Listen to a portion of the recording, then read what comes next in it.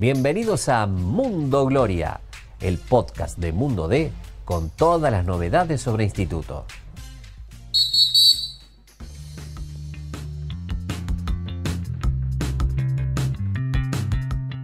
¿Qué tal? ¿Cómo les va? El gusto, el placer de saludarlos. Estamos en Alta Córdoba, Calderón de la Barque Jujuy, en la oficina del presidente Juan Manuel Cavagliato.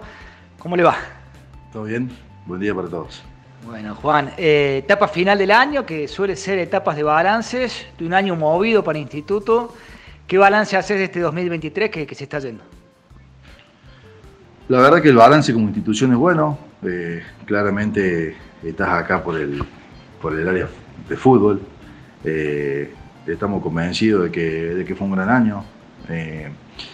después de 17 años en otra categoría, haber logrado lo que, lo que buscamos durante tantos años eh, fue muy lindo, pero al otro día tuvimos que, empezar a ser un club de primera, con muchísimas obras, con muchísimas refacciones, eh, cambiando casi un 95% de la estructura que, teníamos. Eh, fue un trabajo muy duro, que no se ve, que no, que no se siente, que no se palpita cuando, cuando no estás dentro del club y cuando no sos uno de los integrantes que tiene que estar trabajando y que tiene que hacer ese cambio, pero pero si vos me preguntás, instituto cambió, cambió en tres meses eh, que se empezó el torneo, en dos meses que se empezó el torneo desde que animó hasta que se empezó, tuvo que hacer un, giro de 180 grados. En cancha, en estructura, en, remodelaciones, en logística, que todo eso no se ve, pero, pero se siente y, la institución lo siente. Más de una vez, Juan, escuché acá dirigentes del club decir, instituto todavía no está listo para ascender. En el caso tuyo te tocó la primera temporada que armaron un plantel con Fede, dar ese salto. ¿Fue tan fuerte el cambio? ¿Estaba listo Instituto para dar ese cambio? Yo no sé si Instituto estaba listo o no, pero que Instituto lo necesitaba y que era lo que todos queríamos y que era el gran sueño desde nuestros abuelos hasta nuestros hijos, estoy convencido. Eh, los locos hacen las obras para que lo disfruten los cuerdos.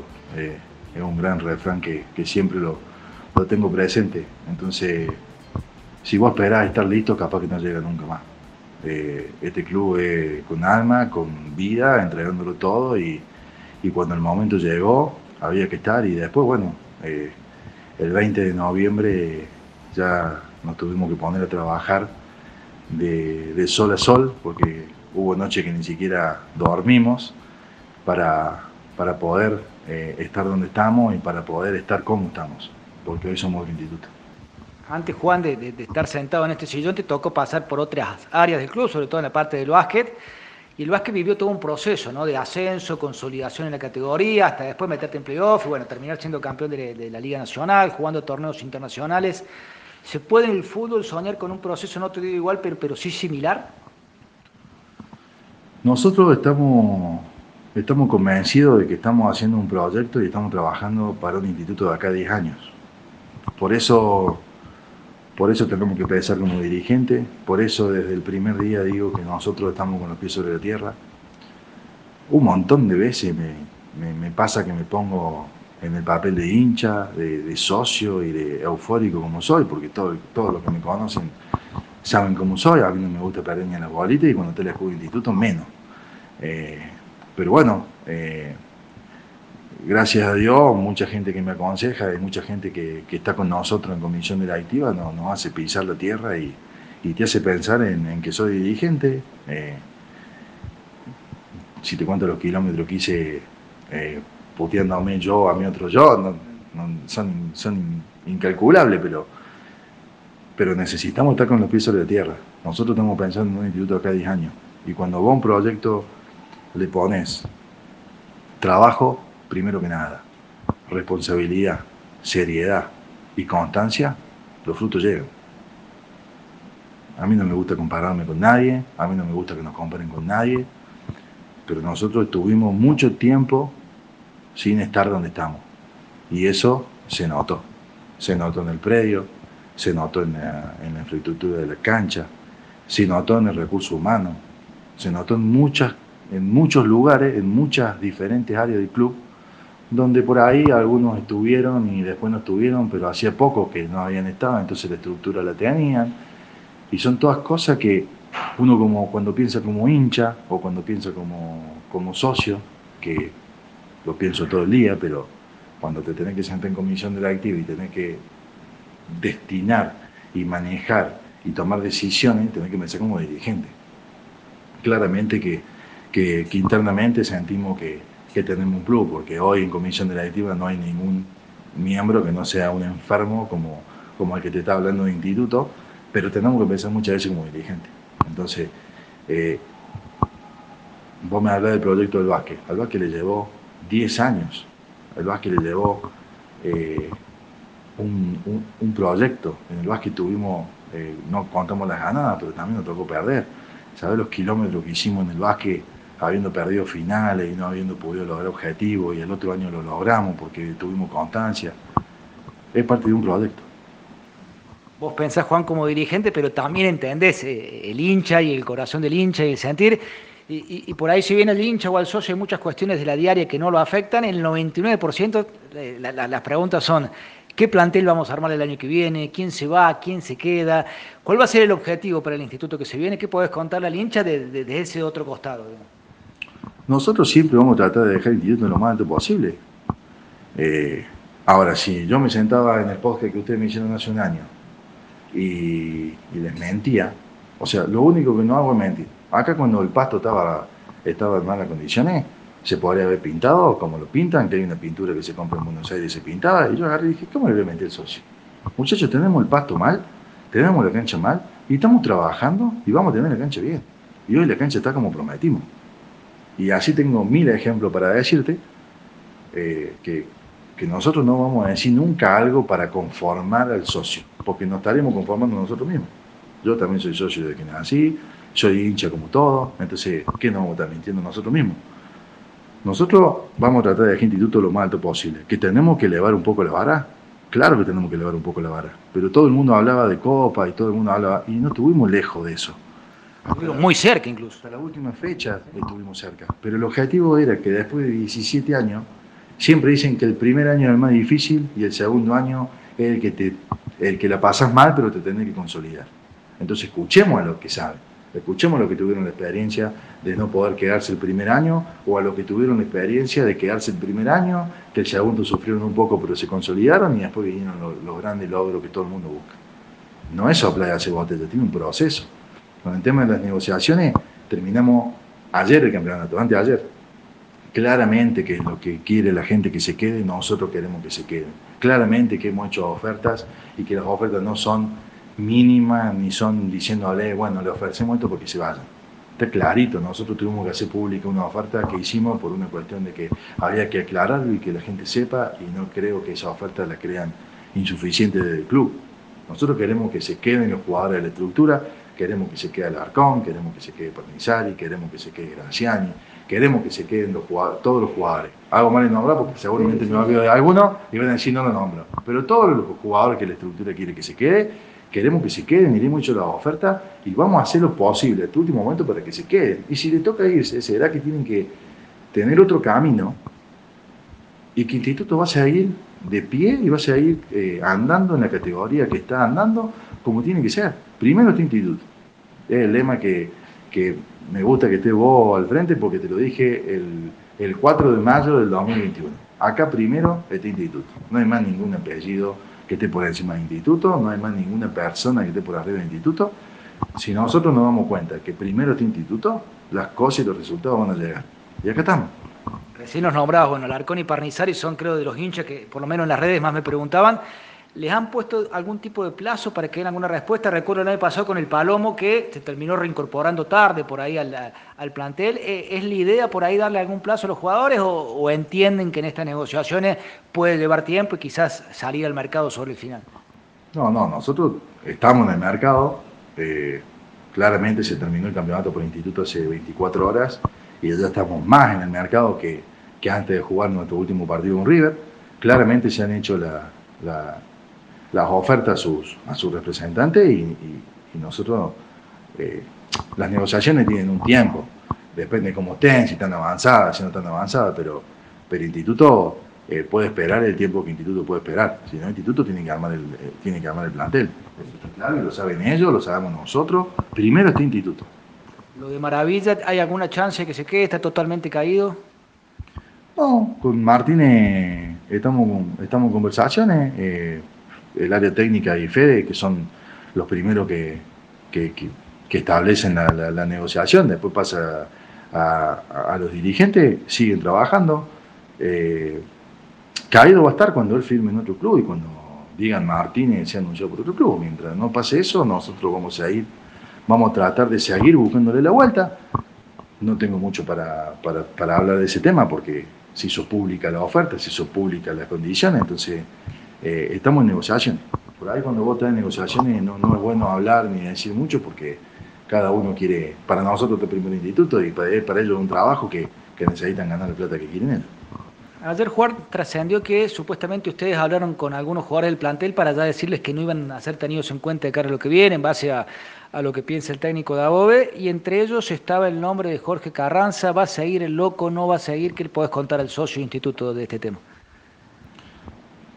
Te puedo contar la verdad. Yo me quedé en Buenos Aires porque tenía que, hacer, trabajar por el club. Eh, el cuerpo técnico decidió ayer, en el último entrenamiento, hablar con los jugadores. Se le manifestó lo deportivo, eh, Carranza tiene un año más de contrato, como todos sabemos, se le manifestó lo deportivo, eh, habló con el manager, con Fede Besone, y hoy que estoy en Córdoba, eh, me voy a juntar a hablar con él, eh,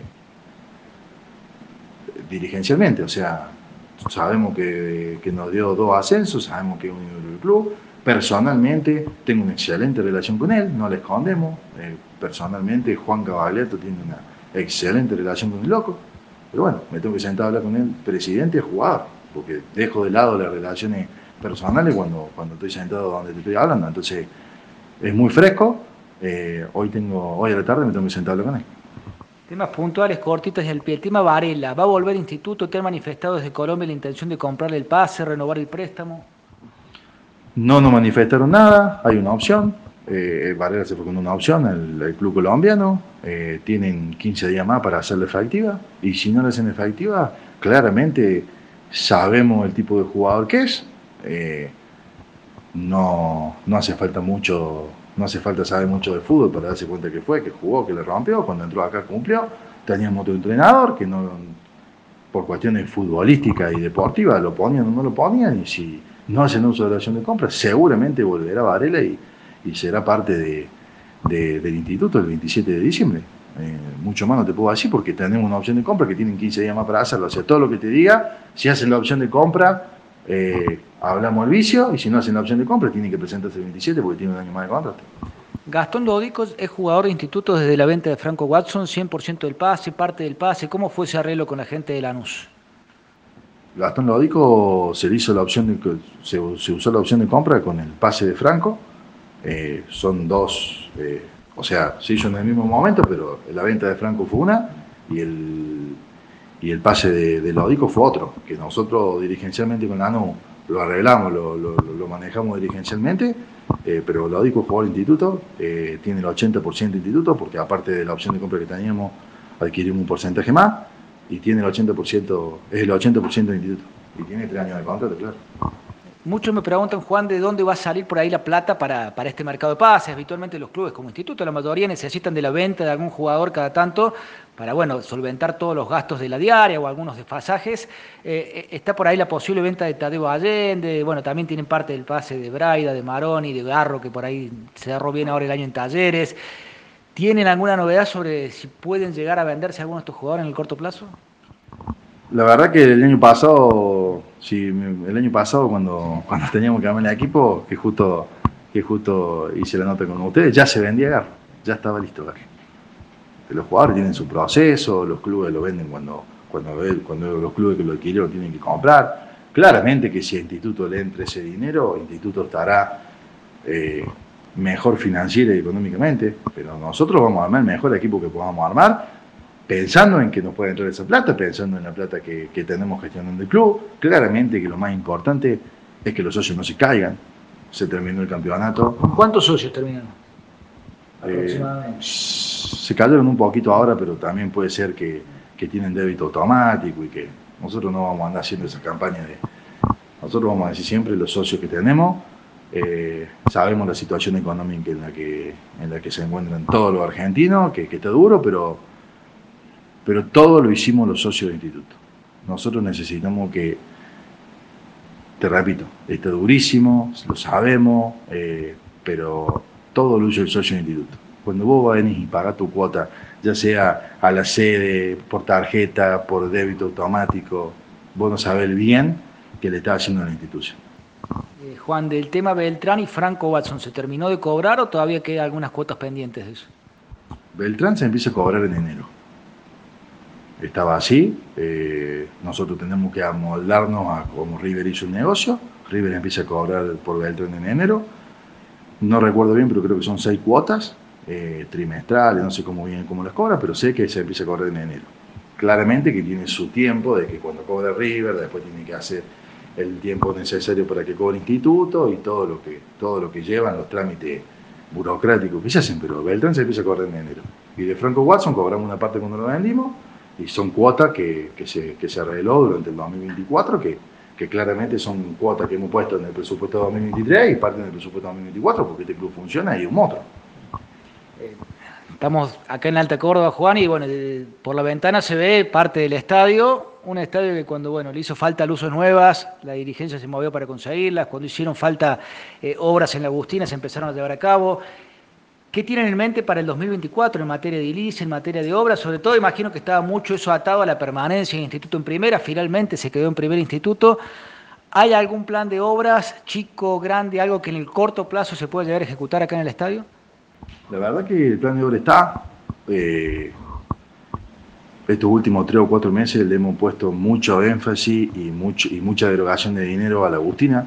Necesitamos terminar el edificio, necesitamos terminar las canchas, necesitamos terminar todo el área de juveniles, que, que por ahí no se nota mucho porque cuando van ustedes al predio solamente se ve ahí la parte profesional, pero atrás del monstruo que estamos construyendo está la parte de juveniles que también se está construyendo. Pero bueno, tenemos el gran dilema de que queríamos inaugurar el edificio en diciembre y contarle todo lo que estamos haciendo, pero no nos están entregando las cosas, no hay material, no, se nos está atrasando un poco la hora por, porque se nos atrasó que nos tiren el cemento en el tercer piso, se nos atrasó que nos, que nos entreguen una abertura, se viene atrasando por el contexto, por el contexto país, no porque no, porque no estemos, no lo estemos acelerando. Eh, pero bueno, no, al estadio necesitamos seguir haciendo cosas no estamos ajenos a la situación económica, no estamos ajenos al contexto que estamos viviendo, pero tenemos que terminar de ver los baños, la idea que tenemos es ponerle la butaca apenas podamos.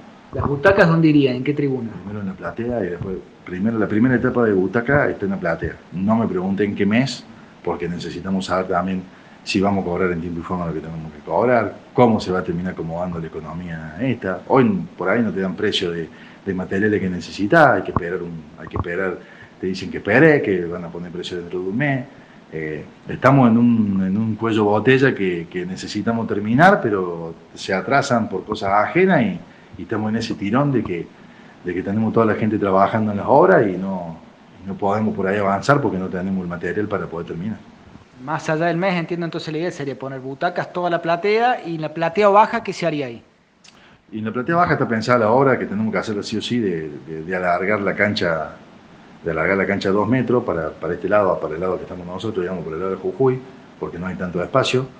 Pero bueno, junto con esa obra, que la platea baja va a perder, va a perder capacidad, tenemos que hacer la reestructuración de la máquina de escribir para que la gente que está en la platea baja, o sea, no perder capacidad de la que tenemos hoy. La, la platea baja tiene prácticamente la misma capacidad que podría tener la máquina de escribir. Entonces esa obra va conjunta. Me pregunta si la podemos hacer ya y no, ya no la podemos hacer, pero es una de las obras que tenemos que hacer para que el estadio quede terminado y que quede con, la, con las dimensiones que necesita tener un estadio eh, de, de, primera línea y todo lo que... Pero bueno, tenemos tiempo de hacerlo porque tampoco que te ponen plazos cortitos, tenés un tiempo prolongado para hacerlo. Los otros días leí un colega que ponía que el año que viene la máquina de escribir por ahí con una escalera interna, no sé cómo sería, ya reabrirla, aunque sea de manera parcial, que debe ser, imagino, la tribuna del fútbol argentino que lleva más años sin ser utilizada. Sí, por ahí no, por ahí no contamos todo porque la gente se empieza a ilusionar y, y, y, son infinitos los ingenieros que están trabajando, tienen que hacer un estudio de cómo te reestructura, si le podés, porque hace muchos años no se usó y estamos trabajando porque lo que hacemos queremos que dure y lo que hacemos lo hacemos bien, no, no ponemos parcha, entonces están trabajando ingenieros, viendo la capacidad de peso, viendo las estructuras como están, eso va para abajo, pasa por el colegio, que el colegio está de abajo. Eh, y si se puede poner la escalera y adelantar los tiempos de refuncionalización de la máquina de escribir, lo vamos a hacer. Pero son todas cosas que, que tenés que ir viendo y que tenés que ir dándole, eh, no me gusta decir la palabra bola, pero tenés que ir haciéndole caso a los arquitectos y a los ingenieros porque te equivocás ahí y, y puede ser un desastre. Y, lo otro que me decías recién, de, por ahí traer la cancha un poco para el lado de la Jujuy, ¿eso te permitiría en un futuro, por ejemplo, sacar el alambre del azúcar y poner una especie de fosa y un acrílico? En realidad tenemos pensado poner acrílico, eh, porque cuando saca el alambre, que en muchas canchas de Buenos Aires están, eh, muchos hinchas y mucha gente ha ido, te hacen poner 150, 200 seguridad privada, porque te lo hacen como que simulen el alambre y eso es una derogación de dinero por partido increíble. En otras canchas que hemos también recorrido, porque fuimos a ver todas las canchas, incluso canchas que no están en el país, fuimos a verla para ver cómo podamos terminar de que quede reestructurada nuestra cancha y casi siempre todas las que no tienen el acrílico puesto para que se vea, que el alambre y los postes no te impidan, pero que tampoco tengan que poner 200 seguridad privada para que, para que te hagan de, de simulación de un alambre. Entonces hemos llegado a la conclusión de que, de que el acrílico va a ser lo mejor que se, que se tiene que hacer en esa tribuna. Volviendo, Juan, un poco el tema de la Agustina, bueno, hablabas del edificio, que por ahí para diciembre quizás no van a llegar, se puede tardar algunos meses por cuestiones del contexto del país. Cuando asumió Daniel Primo nos habló él también sobre la chance de poner alguna cancha de césped sintético en el predio. ¿Sigue en pie esa idea? ¿Está todavía un poco, un poco verde o puede ser que para 2024 eso ya esté? el césped sintético está en parte de la estructura. Eh, está en parte del plan de obra. Eh, ahora hemos hecho las dos canchas que están al lado del fútbol profesional, que vos viste que la estuvimos trabajando, están sembradas, están ahí sin usarse porque hemos recuperado esas dos canchas que eran las que faltaban para, para que inferior y para que el fútbol profesional tengan todas las canchas que necesitan en, un muy buen estado para, para poder practicar. Está pensado el, sintético, el sintético es una de las próximas horas que se viene en el predio. Eh, pero bueno, estamos atados a, todo lo que te dije desde el comienzo de, la charla, que lo vamos a hacer, lo vamos a hacer. Eh, tenemos que tener el CP sintético, estamos trabajando. Cuando a mí, que es uno de los que está un poco más encargado de la parte del predio, está pidiendo presupuesto en todos lados, estamos viendo cuál es la forma de adquirirla, la mejor forma, la mejor cancha, la, que viene con el CSPS que, que te dura años. Eh, hay, hay hay niveles de, sintético y queremos ponerlo mejor para que dure. Perfecto, perfecto. Y otra cuestión, Juan, y bueno, imagino que acá se deben escuchar bien los recitales. El instituto se ha transformado en una marca, ¿no? Más allá de, de, ser De acá no se escuchan bien, pero se ven bien. se ven. Aparte de esto, hace poquito que lo tenemos, pero, pero del edificio no se, escucha, no se escucha tan bien, se escucha bien de los palcos y de la platea VIP, porque te arman el sonido para la, para donde están las tribunas. Entonces, como te arman el sonido para la platea Jujuy, del palco y de la platea B se escucha bárbaro, y, pero del edificio no, porque como el edificio está lejos, y la popular es la última, siempre la, más barata, porque el escenario se hace del otro lado, no, del edificio no se escucha también. O sea que va a tener que comprar entrada para el próximo recital si quiere traer a tus chicos. Eh, ¿quién, quién, va a venir? ¿Con quién están charlando? ¿Se puede contar o adelantar algo de, de los planes del club respecto a recitales para el año próximo? Nosotros trabajamos con Taller. Eh, tenemos una alianza hecha con él, que él es el productor, nosotros le queremos el estadio, claramente que, que, a medida que van pasando los recitales y que vemos que tomamos todos los recaudos que hay que tomar para, para el césped, eh, del césped nos hacemos cargo la mayoría nosotros, trayendo el piso que hay que traer, cuidándolo como hay que cuidar, porque en definitiva es lo que es donde podés fallar, como fallamos el primer recital, que no teníamos experiencia, y después los que han venido lo hemos tratado de solucionar, pero, pero bueno, está Luis Miguel, está tan biónica y seguramente tenemos dos fechas más firmadas por contrato que, que tiene que venir, que todavía no sabemos los nombres de los artistas, pero, pero seguramente vamos a tener dos más, dos recitales más mínimo en el 2024 que, que es lo que está por contrato. Le gusta el fútbol al rey, así que imagino que tenés una remera ya con el nombre de, con el nombre de Luismi. Sí, sí. Siempre el que viene tratamos de, de darle una camiseta para, para que se lleven el recuerdo. Nosotros estamos convencidos de que, de que Instituto tiene que ser una marca y que hay que aprovechar de 100 todas las instalaciones que tiene el instituto, porque los viejos que lo hicieron en el instituto, los grandes dirigentes que, hicieron este gran club, tuvieron la visión de, que el instituto sea un club social, de que el instituto sea un, un verdadero club. Y, la verdad que cuando, que cuando nos empezaron a decir que este estadio estaba muy bien para recitales, eh, lo evaluamos y, por qué no podemos ser una marca en fútbol, en básquet, en todas las disciplinas que tenemos que, que están todas compitiendo a gran nivel y también en recitales si tenemos el estadio. Decía Juan, bueno, ser una marca en fútbol y en básquet. Respecto al básquet, se vienen bueno, días decisivos en Uruguay. ¿Qué, qué primer, qué, sí, sí, hoy primer partido, digamos, pero se vienen varios, varios días claves porque si, si, si hoy no les va bien, tienen revancha pronto, digamos. ¿Qué primer balance hace lo que ha sido esta parte de la temporada del básquet? El primer balance que hago es que me quiero morir que no estoy en Uruguay. no le puedo esconder. todo el mundo lo sabe que, que, que el deporte que, que, me vuelve loco. Eh, a mí me vuelve loco el instituto, pero saben que el básquet me gusta porque lo entiendo, porque, porque intenté jugarlo cuando era chico. pero bueno, eh, hay otra obligación y hoy me hace no, no poder estar con el equipo que, que no tengo duda que va, que va a sacar que va a sacar todas las ganas porque es el gran objetivo que teníamos para este 2023. El equipo se pensó para, para esta Copa. Y el balance que puede hacer es que después de ser campeón nos tocó quedar afuera de, de la semifinal el año pasado con Boca, injustamente me parece, porque eh, hubo cosas que no me gustaron. Eh, pero, pero creo que el balance estoy bueno, es un equipo nuevo que se tiene que, que, formar, que se tiene que armar. Por ahí los equipos llevan tiempo de proceso de armado. Pero tenemos, tenemos una linda semana en Uruguay que, que tenemos tres partidos clave para, para poder poner una copita más a la vitrina que, que es el gran objetivo que tenemos en el básquet 2023, la, la, Copa Sudamericana. Sería, no aparte la frutilla del postre, prácticamente lo único que le falta al básquet, que ya ganó todo a nivel local, a nivel provincial, a nivel nacional, le faltaría esta estrellita, ¿no? Y la verdad que sí, estamos muy esperanzados porque... Pero bueno, es parte de los procesos.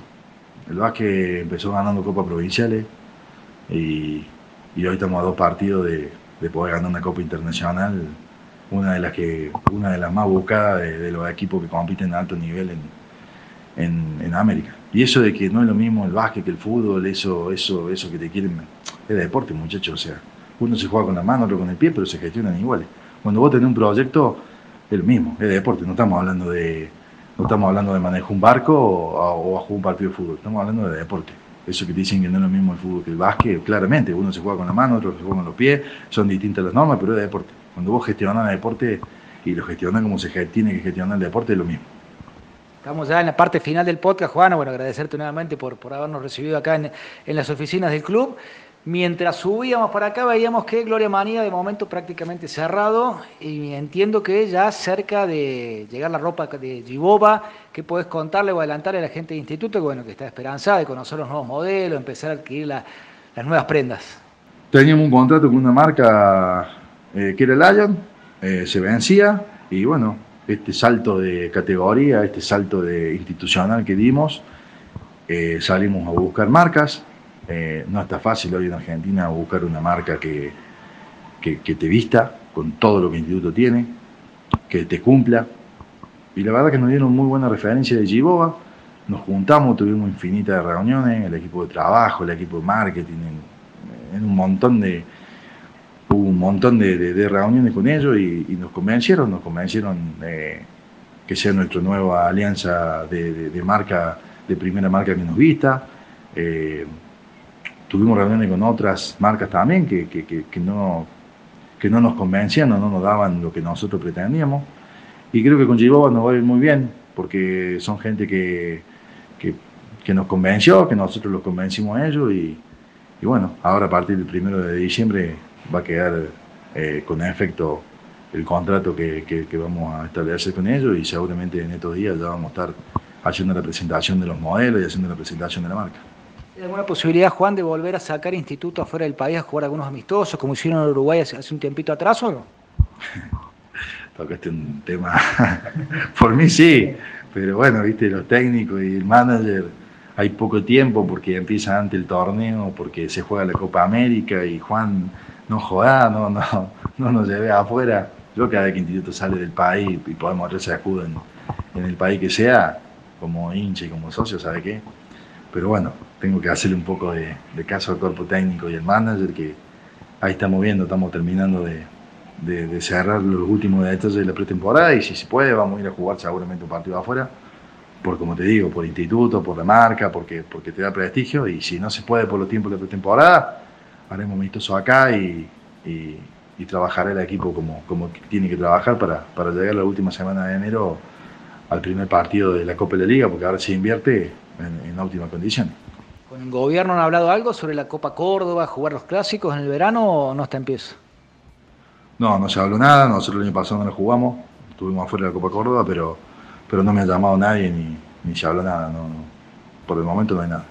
Bueno, Juan, última pregunta. Eh, durante mucho tiempo se, se habló que este club no estaba unido, ¿no? Y bueno, veo acá a mi derecha lo que es la tribuna, la popular Daniel Jiménez, en la cual este año, después de mucho tiempo, se, se volvieron a reunir las, las dos hinchadas más, más, más, populosas, las dos barras de instituto. ¿Sentís vos que, más, allá, digamos, quizás esta unión de las barras acá simboliza lo que ha sido la unión de todo instituto en muchos aspectos para, para empezar después de mucho tiempo a, a tirar todos para el mismo lado? Yo no tengo dudas. Faltaban ellos, se lo dije, en infinitas reuniones. También les dije, porque lo hice público y se lo dije a ellos, no lo digo ahora porque, porque me sobre nada, le dije que había llegado el momento que si no se unían no iban a entrar, porque el instituto era todo junto. Y yo me escribo con muchos del presidente. Hay muchos expresidentes, hay muchos dirigentes que, que quieren el bien para el instituto, que, que me escriben, que, que, me dicen, fíjate en esto, porque a mí me fue mal en esto. Eh, el que me escribe el que me llama, yo siempre lo lo he atendido, me he juntado, he hablado, porque uno de los errores del otro también aprende para no cometer el mismo error ni, ni pisar el mismo palito, pero, pero tengo que reconocerte que con, con varios dirigentes me escribo, claramente tenemos los modelos de gestión y, esta comisión directiva está claro el modelo de gestión que tiene y está claro lo, los objetivos y la forma, pero, pero estamos unidos, estamos unidos. Gran parte, creo que el 95% del instituto hoy está está queriendo que el instituto gane, está queriendo que el instituto crezca, está queriendo que el instituto le vaya bien. Y eso es gran parte porque todos entendimos que, que si todos somos hinchas de instituto y todos queremos bien para el instituto, los apellidos hay que dejaron en la puerta y acá se trabaja para el instituto. Lo último, presidente, dejarle si querés un mensaje al hincha, al socio que está escuchando esta entrevista. Ya hicimos el balance de lo que fue el año, pero bueno, se vienen cosas importantes, así que bueno, te des el micrófono abierto para desearle lo que quieras al hincha de la Lue. Hay que confiar, eh, nosotros no estamos acá, hemos demostrado ya que no vamos a prometer lo que no vamos a poder cumplir. Eh, estamos trabajando, confíen. Por ahí no se te puede dar un resultado o, parece que no estamos yendo por el camino indicado, pero al final te das cuenta de que fuimos por ese camino porque era lo mejor para el instituto. Claramente que nos podemos equivocar, como lo dije infinitas veces. Esta comisión directiva se puede equivocar, pero no se va a equivocar eh, adrede nos podemos equivocar porque somos humanos, nos podemos equivocar porque, porque se dio así que nos equivoquemos, pero siempre vamos a estar pensando, como lo hemos demostrado en el bien instituto, somos hinchas como todos los hinchas que están del otro lado, somos socios como todos los socios que vienen, eh, como los 1.500 que me tocó a mí el día, el día que me tocó asumir y como los más de 35.000 que, que somos hoy con adherentes, jubilados y dama. Eh, confiemos, eh, se vienen épocas duras, el mercado de pases no es bueno, salen muchas cosas que son mentiras, salen muchas cosas que son verdad. Vamos a trabajar, los mercados de pases no se duermen, en los mercados de pases se hacen infinitas de llamadas, se hacen infinitos de kilómetros. Quédense tranquilos que vamos a trabajar en este mercado de pases, que vamos a hacer lo mejor por el instituto. Y si no, ya no tengo, no tengo, no tengo forma de verlos, pasen una, una feliz Navidad, un, un feliz Año Nuevo, disfruten con su familia los institutos, eh, nosotros los hinchas de instituto y los socios tenemos que estar contentos. Después de mucho tiempo estamos donde queremos, estamos donde todos creemos que nos merecemos, pero para estar donde queremos y, estar donde nos merecemos hace falta mucho trabajo, hace falta que nos respetemos entre todos, o ir tirando todo para el mismo lado.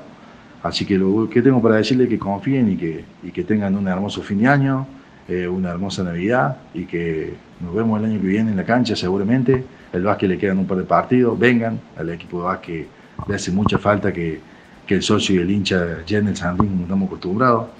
Y tranquilo que, que, de este lado vamos a trabajar y vamos a hacer siempre lo mejor para el instituto.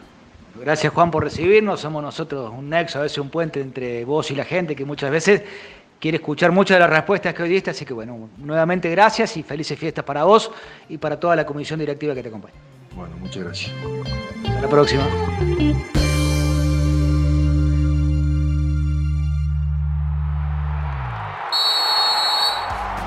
Gracias por escuchar este episodio. Te invitamos a visitar mundode.com.ar para estar al día con todas las noticias sobre la gloria.